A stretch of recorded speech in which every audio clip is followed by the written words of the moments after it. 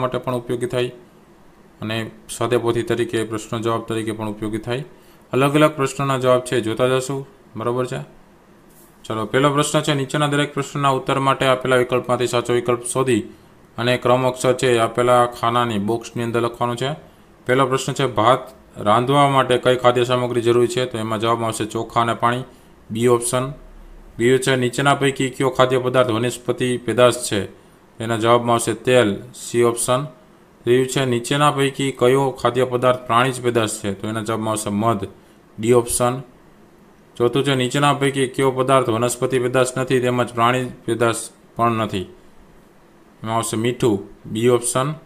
પાંચમું છે, નીચેના પૈકી કંઈક દૂધની બનાવટ નથી તેના જવાબમાં આવશે ચિકન કરી. D option. છઠ્ઠું, હરણ કયા પ્રકારનું પ્રાણી છે? તો તૃણાહારી પ્રાણી છે, એ ઓપ્શન.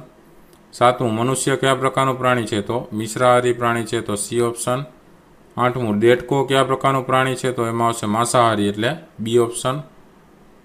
નવમું, નીચેના પૈકી મિશ્રાહારી પ્રાણી કયું છે? તો એના જવાબમાં આવશે રીંછ. C option.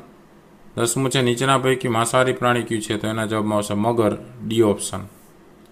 પ્રશ્ન નંબર બીજો છે, નીચેના પ્રશ્નોના માત્ર ઉત્તર જ લખવાના છે. પહેલું છે, રોટલી કયા અનાજમાંથી બને છે? તો કે ઘઉંમાંથી બને.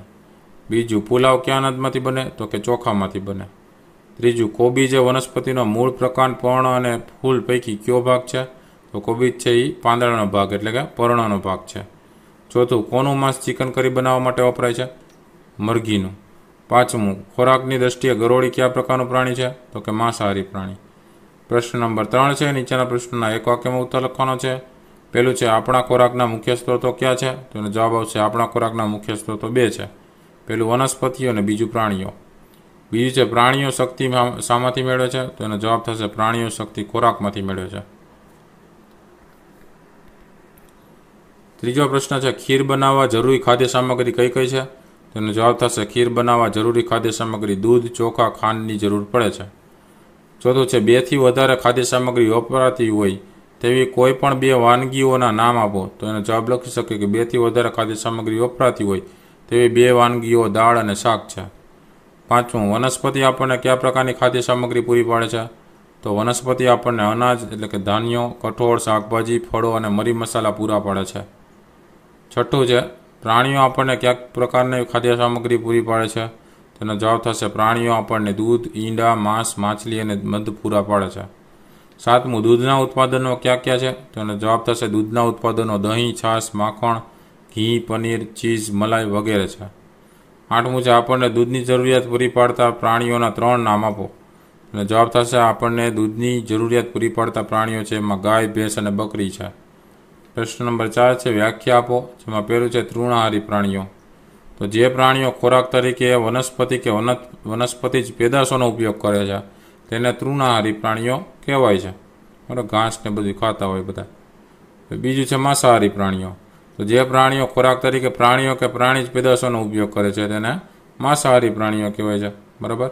ને ત્રીજું આવે છે મિશ્રાહારી પ્રાણીઓ. એટલે કે જે પ્રાણીઓ ખોરાક તરીકે વનસ, વનસ્પતિ જ પેદાશ તેમજ પ્રાણી જ પેદાશોનો બંનેનો ઉપયોગ કરતા હોય. તો તેને મિશ્રાહારી પ્રાણીઓ કહેવામાં આવે. બરાબર? પ્રશ્ન નંબર પાંચ છે, નીચેના પ્રશ્નોના ટૂંકમાં ઉત્તર લખો, જેમાં પહેલો છે, આપણે ખોરાક તરીકે ઉપયોગ કરતા હોઈએ તેવા શાકભાજી અને ફળોની યાદી બનાવો. તો એમાં પહેલાં લખીએ છીએ શાકભાજીની યાદી. એમાં કયા કયા આવશે? બટાટા, ડુંગળી, રીંગણ ફ્લાવર, કોબીજ, ભીંડા, કારેલા, ટીંડોળા, ગલકા, તુરિયા, દૂધી, પરવળ, ગવાર, એટલે કે ગુવાર, ચોળી, પાપડી, સુરણ, રતાળુ, સકરિયા વગેરે. પછી ફળોની યાદી જોઈએ. તો કેળા, સફરજન, પપૈયું, ચીકુ, જામફળ, મોસંબી, નારંગી, સીતાફળ, કેરી, તરબૂચ ટેટી દ્રાક્ષ વગેરે. બીજો પ્રશ્ન છે, રાંધ્યા વિના કાચા ખાઈ શકાય તેવા ખાદ્ય પદાર્થોની યાદી બનાવો. તો બધા જ ફળો સૂકો, મેવો તથા કેટલાક શાકભાજી છે, એ કાચા ખાઈ શકાય છે. તેમાંના ફળો છે, એ ફળો લખી શકીએ. કેળા, સફરજન, ચીકુ, પપૈયું, મોસંબી, નારંગી વગેરે. પછી સૂકો, મેવો છે લખી શકીએ. બદામ, કાજુ પિસ્તા, દ્રાક્ષ, અખરોટ, અંજીર વગેરે. ને શાકભાજી છે લખી શકીએ. ટામેટાં, કોબીજ, બીટ, ગાજર, મૂળો વગેરે. ત્યાર પછી ત્રીજો પ્રશ્ન છે, ખોરાક તરીકે ઉપયોગમાં આવતી પાંચ વનસ્પતિને તેના ભાગોના નામ લખવાના છે. તેનું વનસ્પતિનું નામ અને ઉપયોગમાં લેવાતા ભાગ જોતા જઈએ. પહેલું છે ઘઉં, એ બીજ અને દાણા ઉપયોગમાં લઈએ છીએ. બીજું છે બટાટા, એ પ્રકારના ભાગમાંથી ઉપયોગમાં લઈએ છીએ. ત્રીજું છે કોથમીર, એ પરણાના ભાગમાંથી ઉપયોગમાં લઈએ છીએ. ચોથું છે મૂળો, એ મૂળ તથા પરણોના ભાગમાં ઉપયોગમાં લઈએ છીએ એના. પાંદડા છે એ, ભાજી તરીકે ઉપયોગ લઈએ છીએ. બરાબર? પાંચમું છે આંબલી. આંબલી છે એ ફળ તરીકે આપણે ઉપયોગમાં લઈએ છીએ. આ રીતના અલગ અલગ વનસ્પતિમાં જે ઉપયોગમાં લેવાતા ભાગ છે, કોઈ પણ તમે લખી શકો. પ્રશ્ન નંબર ચાર છે, ખોરાકનો બગાડ અટકાવવાના કયા કયા પગલાં લેવા જોઈએ? નો જવાબ થશે. પહેલું છે, આપણી જરૂરિયાત જેટલો જ ખોરાક રાંધવો જોઈએ તેમજ ઉપયોગમાં લેવો જોઈએ. જમતી વખતે ખોરાકનો બગાડ અટકાવવો જોઈએ. બીજું ફળો અને શાકભાજી ખરીદ્યા પછી સમયસર તેનો ઉપયોગ કરી લેવો જોઈએ, જેથી તે બગડે નહીં, તેમજ સડી ન જાય. ત્રીજું, ઘરમાં સંગ્રહેલું અનાજ બગડે નહીં, તેની યોગ્ય કાળજી લેવી જોઈએ. પ્રશ્ન નંબર પાંચ છે, મધમાખી કેવી રીતે મધ બનાવે છે? અને જવાબ થશે, મધમાખી સુગંધીદાર ફૂલો પર બેસી તેમાંથી સુમધુર ફૂલોનો રસ ચૂસે છે. તેને મધુર રસ કહે છે. ચૂસેલા ફૂલોના રસને તે એક કોથળીમાં સંગ્રહ કરે છે. જ્યારે ફૂલોનો રસ અમુક પ્રમાણમાં એકઠો થાય, ત્યારે તેના પોતાના મધપુડામાં જઈ ત્યાં સંગ્રહ કરે છે. આમાંથી મધનું નિર્માણ થાય છે, જે મધપુડામાં પોતાના ખોરાક તરીકે સંગ્રહાયેલું રહે છે. ત્યાર પછી છઠ્ઠો પ્રશ્ન છે, ખોરાકની દ્રષ્ટિએ પ્રાણીઓના કયા ત્રણ વિભાગોમાં વહેંચવામાં આવે છે? તે દરેકના બે બે ઉદાહરણ આપવાના. તેનો જવાબ લખી શકે, ખોરાકની દ્રષ્ટિએ પ્રાણીઓ નીચે મુજબ ત્રણ વિભાગમાં વહેંચી શકાય છે. પહેલું છે, શાકાહારી પ્રાણીઓ, એનું ઉદાહરણ લઈ શકીએ. હરણ, સસલું. બરાબર? બીજું છે માંસાહારી પ્રાણીઓ એમાં ઉદાહરણ ચિત્તો સિંહ ત્રીજું છે મિશ્રાહારી પ્રાણીઓ એમાં ઉદાહરણ મનુષ્ય રીંછ. ત્યાર પછી છઠ્ઠો પ્રશ્ન છે, વૈજ્ઞાનિક કારણ આપી સમજાવો. એમાં છે, બિલાડી મિશ્રાહારી પ્રાણી છે. જવાબ લખી શકે બિલાડી ઉંદર અને નાના પક્ષીઓનો ખોરાક તરીકે ઉપયોગ કરે છે. વળી તે દૂધ, રોટલી અને અન્ય રાંધેલા ખોરાક પણ ખાય છે. આમ બિલાડી ખોરાક તરીકે નાના પ્રાણીઓ અને વનસ્પતિ જ પેદાશો એમ બંનેનો ઉપયોગ કરે છે. તેથી બિલાડી મિશ્રાહારી પ્રાણી છે. ત્યાર પછી પ્રશ્ન નંબર સાત છે. તફાવતના બે મુદ્દા લખવાના છે. તૃણાહારી પ્રાણીઓ અને માંસાહારી પ્રાણીઓ. તો તૃણાહારી પ્રાણીઓ કોને કહેવાય? તો કે તેઓ વનસ્પતિ કે વનસ્પતિ જ પેદાશોનો ખોરાક તરીકે ઉપયોગ કરે છે. માંસાહારી પ્રાણીઓ કયો કે, કોને કહેવાય? તો કે તેઓ પ્રાણીઓ કે પ્રાણીજ પેદાશોનો ખોરાક તરીકે ઉપયોગ કરે છે. તૃણાહારી પ્રાણીઓમાં કયા કયા આવે તો કે ઊંટ, હાથી, સસલું, જીરાફ વગેરે તૃણાહારી પ્રાણીઓ છે જે ઘાસ ચરતા હોય બધા. માંસાહારી પ્રાણીઓમાં વાઘ, સિંહ, ગરોળી, બાજ, કરોળીઓ વગેરે બધા માંસાહારી પ્રાણીઓ છે. ત્યાર પછી પ્રશ્ન નંબર આઠ છે, વર્ગીકરણ કરવાનું છે, જેમાં પહેલું છે, નીચેના પદાર્થોનું વનસ્પતિજ પેદાશ અને પ્રાણીજ પેદાશમાં વર્ગીકરણ કરો. બરાબર? તો આમાં આપેલા જે પેદાશ છે, દરેકની અંદર વનસ્પતિ પેદાશ અને પ્રાણી પેદાશનું વર્ગીકરણ કરવાનું છે. વનસ્પતિ વનસ્પતિ પેદાશ છે એ કઈ કઈ થશે? મગફળી, સરસવ, ગુંદર, રાજમા, હળદર ને ખાંડ. પ્રાણી પેદાશમાં કઈ કઈ આવશે દહીં, મધ, માંસ, દૂધ, ઘી ને ઈંડા. પછી બીજો પ્રશ્ન છે, નીચેના પ્રાણીઓનું તૃણાહારી પ્રાણીઓ, માંસાહારી પ્રાણીઓ અને મિશ્રાહારી પ્રાણીઓમાં વર્ગીકરણ કરવાનું છે. તો આપેલા પ્રાણીઓ છે, એમાંથી અલગ અલગ ભાગ પાડીએ તો તૃણાહારી પ્રાણીઓમાં કયા કયા આવશે? સસલું જીરા પતંગિયું, ખિસકોલી. માંસાહારી પ્રાણીઓમાં કયા કયા આવશે? કાચિંડો, સંભળી, ઘુવડ, સિંહ. મિશ્રાહારી પ્રાણીઓમાં કયા કયા આવશે? મનુષ્ય, રીંછ, બિલાડી, ચકલી. પછી પ્રશ્ન નંબર નવ આવશે. નીચેના વિધાનોમાં ખરા વિધાન સામે સાચા નિશાની, ખોટા વિધાન સામે ખોટા નિશાની કરવાની છે.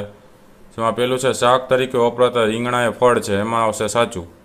બીજું છે, વનસ્પતિના મૂળ પ્રકાંડ, પર્ણ અને ફૂલ ખોરાક તરીકે વપરાય છે. એમાં આવશે સાચું.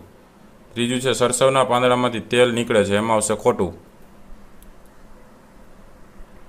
પછી ચોથું છે, કેળના વિવિધ ભાગો ખોરાક તરીકે ઉપયોગમાં લઈ શકાય છે, એમાં આવશે સાચું. પછી પાંચમું છે, મકાઈ કઠોળ છે, એમાં આવશે ખોટું. છઠ્ઠું છે, જીરાફ, માંસાહારી પ્રાણી છે, એમાં છે ખોટું. પ્રશ્ન નંબર દસ છે, કૌંસમાં આપેલા શબ્દો વડે ખાલી જગ્યા પૂરવાની છે? જેમાં પહેલું છે, દીપડો માત્ર માંસ ખાય છે, માટે તે ખાલી જગ્યા છે, તો માંસાહારી છે. બીજું છે, હાથી માત્ર વનસ્પતિ જ પેદાશ ખાય છે, માટે તે ખાલી જગ્યા છે, તો તૃણાહારી છે. ત્રીજું છે પોપટ ફક્ત ખાલી જગ્યા પેદાશ ખાય છે, તો એમાં આવશે વનસ્પતિ પેદાશ ખાય છે. ચોથું છે, દહીં, માખણ, ઘી વગેરે ખાલી જગ્યામાંથી બને છે. તો દહીં, માખણ, ઘી વગેરે દૂધમાંથી બને છે. બરાબર? પાંચમું છે, ખાંડ આપણને ખાલી જગ્યામાંથી મળે છે. તો શેરડીમાંથી મળે છે. પ્રશ્ન નંબર અગિયાર છે, ખાલી જગ્યા પૂરવાની છે. એમાં પહેલું છે, મસાલા ખાલી જગ્યા પેદાશ છે. તો વનસ્પતિ જ પેદાશ છે. બીજું છે, મધ ખાલી જગ્યા પેદાશ છે, તો એમાં પ્રાણી જ પેદાશ છે. બીજું છે, શેરડીમાંથી ખાલી જગ્યા અને ખાલી જગ્યા બનાવવામાં આવે છે, તો એમાં આવશે ગોળ અને ખાંડ બનાવવામાં આવે છે. ચોથું છે, મરઘી આપણને ખાલી જગ્યા અને ખાલી જગ્યા આપે છે, તો ઈંડા અને માંસ આપે છે. પાંચમું છે, મધમાખી પુષ્પો પરથી ખાલી જગ્યા એકઠો કરે છે, તો મધમાખી છે, પુષ્પો પરથી શું એકઠો કરે? મધુરસ એકઠો કરે છે, બરાબર? પ્રશ્ન નંબર બાર છે, નીચેનાના ચાર નામ લખવાના છે. સૂકો મેવાના ચાર નામ. બદામ, કાજુ, પિસ્તા, અખરોટ. અનાજના ચાર નામ ઘઉં, બાજરી, જુવાર, મકાઈ, કઠોળ, તુવેર, મગ, અડદ, વાલ. મસાલા તરીકે વપરાતા ખાદ્ય પદાર્થો મરચું, હળદર, હિંગ, ધાણા, જીરું. જેના બીજમાંથી તેલ નીકળતું હોય તેવી વનસ્પતિ મગફળી, તલ, સરસવ, સોયાબીન. પ્રશ્ન નંબર તેર છે, જોડકા જોડવાના છે? વિભાગીય સામે વિભાગ બી જોતું જવાનું. પહેલું છે, માંસ, માછલી, ઈંડા. તો બધી જ પ્રાણી જ પેદાશો છે. પહેલાંમાં આવશે ડી. બીજું છે કારેલા ફુલાવર ભીંડા, તો એ શાકભાજી છે, તો બીજામાં આવશે સી બીજું છે સિંહ અને વાઘ, તો એ બીજા પ્રાણીઓને ખાય છે, એટલે ત્રીજામાં આવશે એ. ચોથું છે તૃણાહારીઓ, એમાં આવશે વનસ્પતિ અને તેની પેદાશો ખાય છે, એટલે ચોથામાં આવશે બી ઓપ્શન.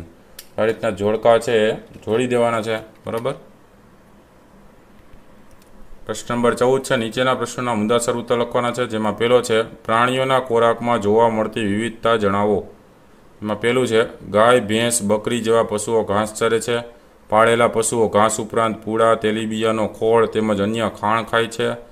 બીજું છે, પક્ષીઓ અનાજના દાણા ચરે છે. કેટલાક પક્ષીઓ નાના જીવજંતુઓ ખાય છે. ત્રીજું છે, સિંહ, વાઘ, ચિત્તો જેવા જંગલી પ્રાણીઓ અન્ય પ્રાણીઓને મારીને તેમનું માંસ ખાય છે. ચોથું છે, ગરોળી અને કાચિંડો નાના જીવજંતુઓનું ભક્ષણ કરે છે. સાપ, ઉંદર અને દેડકાને ગળી જઈ તેનું ભક્ષણ કરે છે. બાજ અને ગરુડ સાપનું ભક્ષણ કરે છે. પાંચમું છે પતંગિયા અને મધમાખી ફૂલોમાંથી રસ ચૂસે છે. બીજો પ્રશ્ન છે, ફણગાવેલા મગ બનાવવાની રીતનું વર્ણન કરવાનું છે. સાધન સામગ્રી છે, મગ અથવા ચણા જોઈ, પાણી, બાઉલ, કાપડનો ટુકડો. આકૃતિ તમે જોઈ શકો છો. એની પદ્ધતિ છે, પહેલું મગ અથવા ચણાના સૂકા બીજ લેવાના. બીજું, તેને પાણી ભરેલા બાઉલમાં ડૂબાડો. ત્રીજું, તેને એક દિવસ માટે રહેવા દો. ચોથું બીજા દિવસે પાણીને સંપૂર્ણ નિતારી લો. પાંચમું મગને ભીના કપડાના ટુકડામાં વીંટાળી, એક દિવસ રહેવા દો.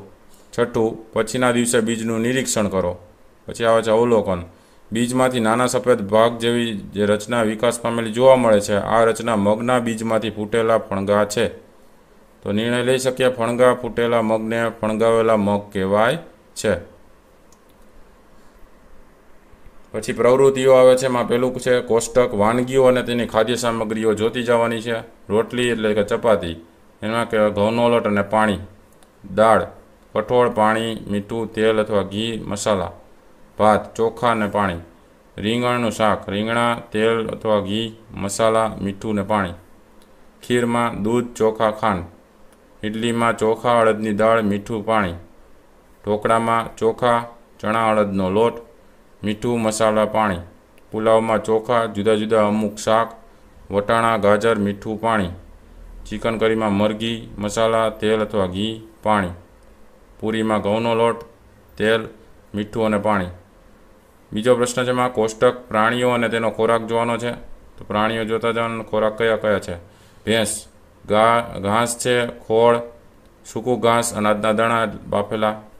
બિલાડી, નાના પ્રાણીઓ, એટલે કે ઉંદર પક્ષીઓ, દૂધ, રોટલી, ઉંદર છે એ અનાજના દાણા ખાય છે, સિંહ છે એ હરણ અને અન્ય પ્રાણીઓનું માંસ ખાય છે, વાઘ છે એ હરણ અને અન્ય પ્રાણીઓનું માંસ ખાય છે, સાપ છે એ દેડકો, ઉંદર, નાના સજીવો, ગરોળી છે, મચ્છર, માખી, અન્ય જીવજંતુ, ગાય છે એ ઘાસ, પૂડા, ખોળ, અનાજના દાણા બાફેલા, દેડકો છે જીવજંતુ કીડા, પતંગિયું છે, ફૂલોનો રસ પરાગરજ કાગડો છે, હેઠવાળ, પૂરી, જીવજંતુ, જીવડા, સસલું છે, ઘાસ, કુમળા, પર્ણ, કંદમૂળ, ચકલી છે, અનાજ, જીવજંતુ ખિસકોલી છે, બીજ, ફળ, દાણા, કૂતરો છે, રોટલી, બ્રેડ, માંસ. તો વિદ્યાર્થી મિત્રો, હવે તમને ખ્યાલ આવી ગયો છે અલગ અલગ જે પ્રશ્નો છે સ્વાધ્યાય પોથીને લગતા પાઠના. એ કઈ રીતે લખવાના છે? આવનારી પરીક્ષાની અંદર પણ પૂછાઈ શકે મોસ્ટ આઈપી પ્રશ્નો છે. બરાબર તો અલગ અલગ પ્રશ્નો દ્વારા તમને જાણકારી પણ મળી અને સ્વાધ્યાય પોથીના પ્રશ્નો તરીકે પણ ઉપયોગી થાય. તો વિદ્યાર્થી મિત્રો, વીડિયો ગમ્યો તો લાઇક કરજો કોમેન્ટ કરજો અને તમારા મિત્રોને જરૂરથી શેર કરજો. જેથી કરીને એમને પણ આ વીડિયો ઉપયોગી થાય. અલગ અલગ વિડીયોઝ છે એ ચેનલ પર મુકાતા રહેશે આવા. જેથી કરીને ચેનલને સબસ્ક્રાઈબ કરી અને બે લાઇકન દબાવી દેજો. નવા નવા વિડીયોઝ સાથે ફરીથી પાછા મળીશું. ત્યાં સુધી કાળજી રાખજો. Thank you very much take care